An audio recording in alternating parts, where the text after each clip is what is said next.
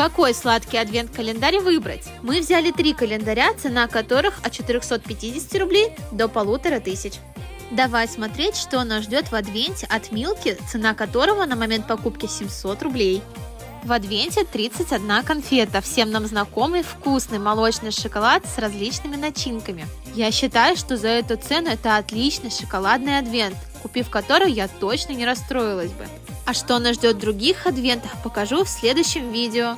Делись в комментариях, покупаешь ли ты адвент-календари или считаешь это ненужной покупкой.